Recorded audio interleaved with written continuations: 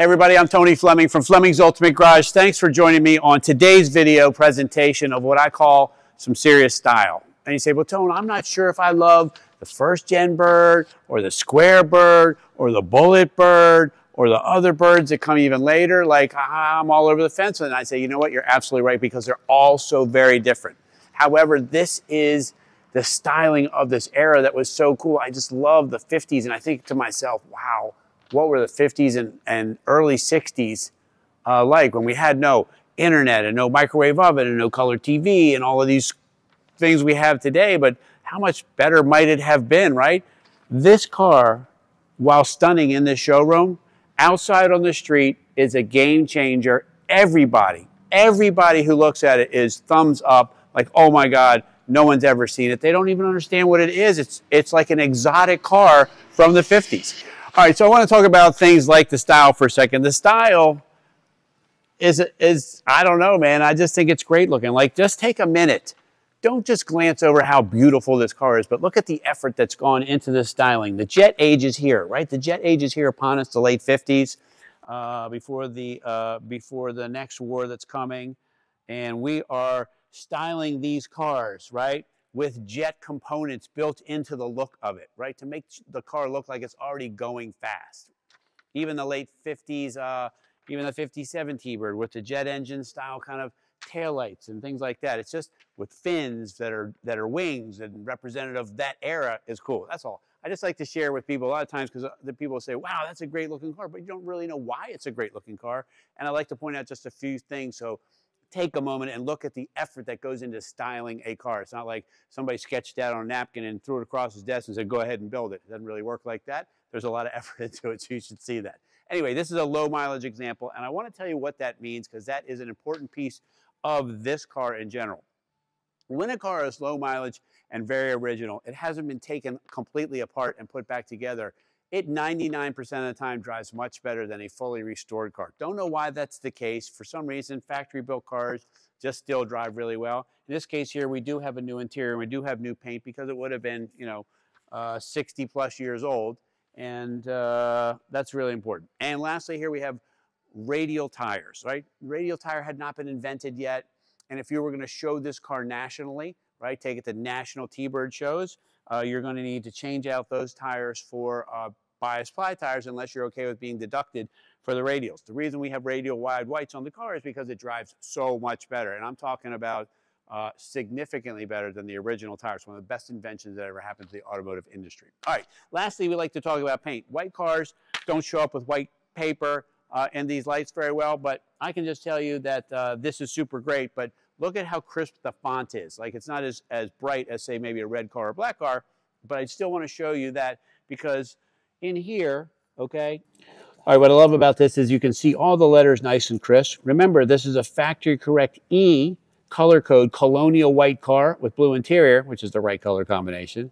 And it just looks crystal clear. It's why we do this. It's why we do the video on these cars. You want to be able to see how great things look in a video because pictures can be manipulated and this right here gives you the raw feeling of exactly what you're getting, shiny and beautiful. All right, listen, we have two different types of people who, uh, who get these cars here. Some people just want a cool car to drive. Other people want to take it to shows. I respect both of them. I think they're great. Uh, I like to make sure, though, that if you do want to go to a show or you do want to show your friends in your garage uh, under the hood and trunk and things like that, that it's detailed as well. All right? This has springs in it. The original springs holding the trunk up is functioning just the way it should, and it's detailed the way it should as well. With the black block, uh, the blue valve covers, air cleaner. We have a couple small parts coming. This is car just arrived, and we're just finishing up uh, the stuff. Like we have the uh, correct air hose that goes here, but it's very detailed in here. Very easy to see things. Um, the C-Clear washer fluid bag is there. The voltage regulator is stamped with the Ford on it, right? This is the correct overflow tank in here. We'll have the battery and battery topper on here when you get it, right? All of these little things are things that if you go to a show or you go to uh, get judged somewhere are all nice important things that when you open the hood, it looks really original circa 1959. Remember we talked about under the hood when we were there before, we have two types of people who love these cars. Somebody who just wants a cool car to to drive and go to dinner and go to work, stuff like that in, and other people would like to go to some car shows, cars and coffee and whatever. Again, this car is exactly for both of you. Here's why, right? If you look inside here, okay, check this out. This is so beautifully done in here. This is a high-end car. It was expensive for its time because it has things done to it that a Chevelle or uh, you know, uh, a Galaxie or something like that might not have had done to it, right? For instance, this is all finished in the trunk here in this houndstooth, right? This may not seem like a big deal to you, but back then, this was an expensive part of the car. These cars, some of these cars, not this car in particular, but some of these cars were 1800 bucks for a new car, right? That's pretty, uh, a pretty inexpensive car. However, they needed to keep the cost down and that's how they saved money. In this case here, they wanted to take on the sport coupe market. And so they were willing to do things that no one else was willing to do. This is beautifully done in here. The jack is right where it's supposed to be. The spare tire is in there. This is insulation for the underneath of the, uh, the trunk so that it keeps the whole car quiet as well. It's little detail stuff that separates these cars from others. I love this shot here where we talk about walking up to your car because I think that this is exactly what you should be doing. Walking up to your car, you're at work, it's on a Friday, right? On a Friday, you coming on and you get to see what everybody else sees, and you go ahead and get in here, which not everybody else gets to enjoy, all right? And you get in this cool freaking car, man. Look at this dash setup. Look at this interior. Look at the, the room that people can have back here. Imagine going to dinner with another couple in this car, right? Imagine taking the kids somewhere in it they're looking, listen, we have people come here all the time with their kids and they point at these uh, window cranks and go, what are those, right? They've never seen a roll-up window. How crazy is that? This dash is T-Bird all the way, right? Beautifully trimmed here, great HVAC system here, full console that runs the full length of the car here, right? This is not a cheap car, man. This is a luxury car, a luxury sport coupe that a lot of money was spent on, uh, on these cars when they were new.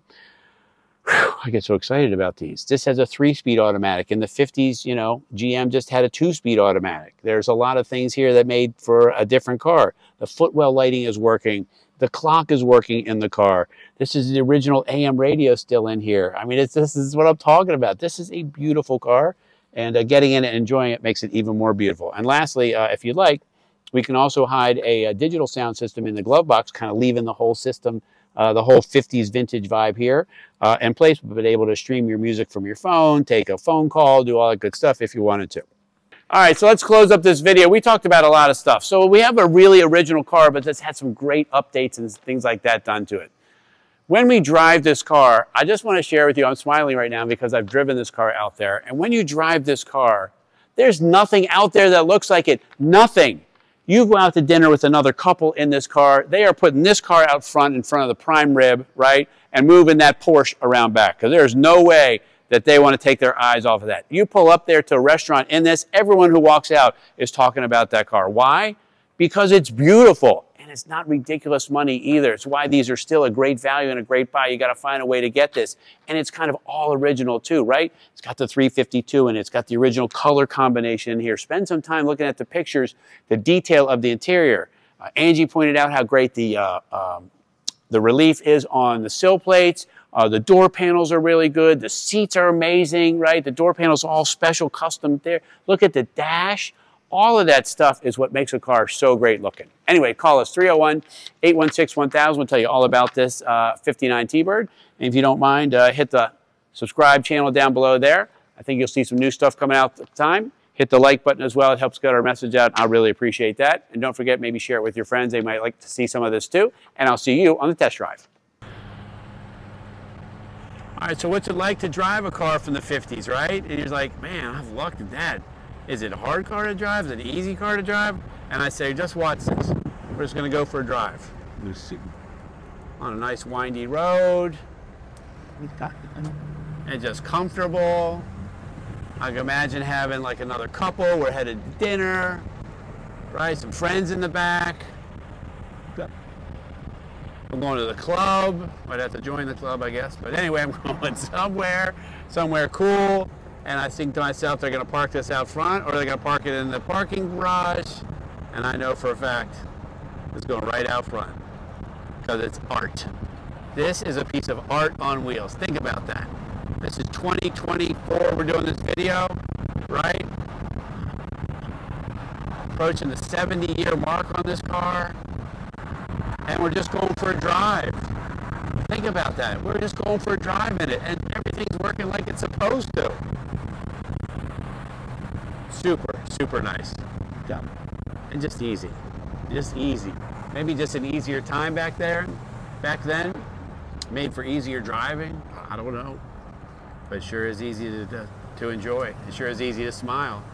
And I think I'm, I think I'm, I'm good on saying, you know what? Not, might not be a bad idea to throw a, a modern stereo in the glove box, leave all this kind of original looking, and uh, and stream some music. And you can also pick some eras, like maybe you want to drive music in the 50s, 60s, or 70s. That would be cool. As we continue our classic journey, we're just, I don't know, man, we're just going for a drive and just rapping, just, just us, right? And we're talking about how easy it is, how nice it is, power steering. We forget to ask about things like that, right? A lot of cars didn't come with power steering, and they're, you know, they're not horrible, but they're work. This is not work. This is pleasurable.